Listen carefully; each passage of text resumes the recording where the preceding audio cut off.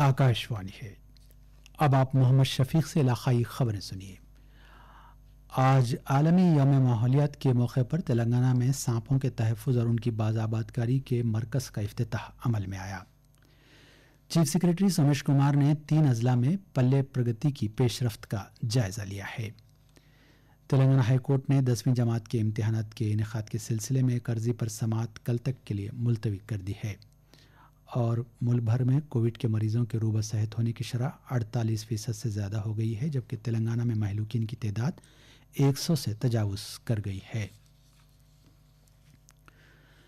रियासती वज़ीर माहौलियात इंदिरा करण रेड्डी ने आज हैदराबाद के नेहरू जोलॉजिकल पार्क की वेबसाइट और मोबाइल ऐप का अफ्ताह किया। इस मौके पर उन्होंने कहा कि जू और जानवरों को गोद लेने की स्कीम की तमाम तफसीलात इस वेबसाइट पर फराहम की गई हैं। उन्होंने कहा कि वेबसाइट या मोबाइल ऐप पर जू में दाखिले के लिए और दीगर खदमात के लिए टिकट हासिल किए जा सकते हैं। जू को दोबारा खोलने के लिए सेंट्रल जू अथॉरिटी की जानब से इजाज़त मिलने के बाद ये ऑनलाइन खदमात दस्तियाब होंगी। इससे कबल उन्होंने बौरामपेट रिज़र्व फॉरेस्ट में एक करोड़ चालीस लाख रुपए की लागत से सांपों के तहफ़ और उनकी बाजाबादकारी के मरकज़ का अफ्ताह किया। रियासत के चीफ सेक्रेटरी सोमेश कुमार ने कहा है कि हुकूमत पल्ले प्रगति के तहत जारिया कामों को तरजीह दे रही है और हर महीने 380 करोड़ रुपये मुख्त कर रही है। उन्होंने संगारेड्डी, कामारेड्डी और वखाराबाद अजला में आज दो दो देहातों का दौरा किया और पल्ले प्रगति के तहत कामों की पेशरफ का जायजा लिया। उन्होंने डंपिंग यार्ड्स की फराहमी, हरितहरम और दीगर कामों का तफसीली जायजा लिया।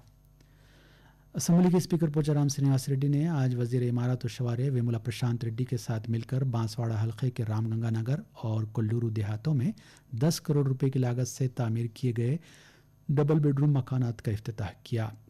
इस मौके पर उन्होंने कहा कि 500 करोड़ रुपए की लागत से 5000 से जायद डबल बेडरूम मकानात तामीर किए जा रहे हैं और इनमें से बेशतर तामीर के आखिरी मरहले में हैं। मरकज़ी वजी अमकिना व शहरी उमूर हरदीप सिंह पुरी ने आज आलमी यौम माहौलियात के मौके पर तीन एडवाइज़री जारी किए। दिल्ली में एक प्रोग्राम से खिताब करते हुए उन्होंने कहा कि आज जारी किए गए दस्तावेज़ मजमू सफ़ाई और सॉलिड वेस्ट मैनेजमेंट में हायल अहम मसाइल का पायदार हल तलाश करने की कोशिश का हिस्सा हैं।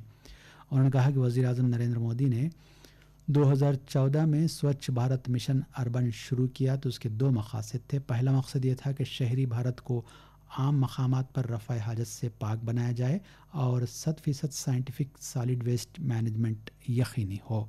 उन्होंने कहा कि हुकूमत ने इन दोनों शोबों में काफ़ी पेशरफ्त की है।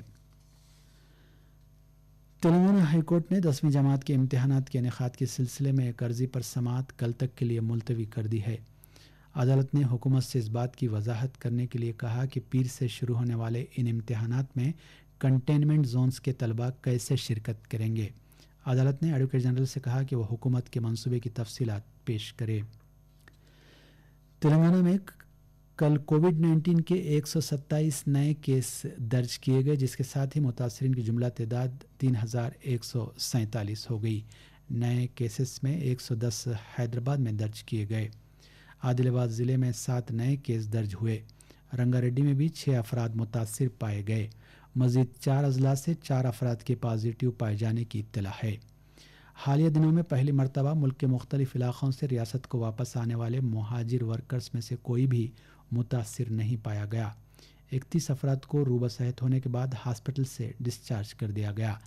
इस तरह अब तक दवाखानों से डिस्चार्ज होने वालों की तादाद एक हज़ार पाँच सौ सत्तासी हो गई है। इस वक्त एक हज़ार चार सौ पचपन अफराद जेर इलाज हैं। छः अफराद को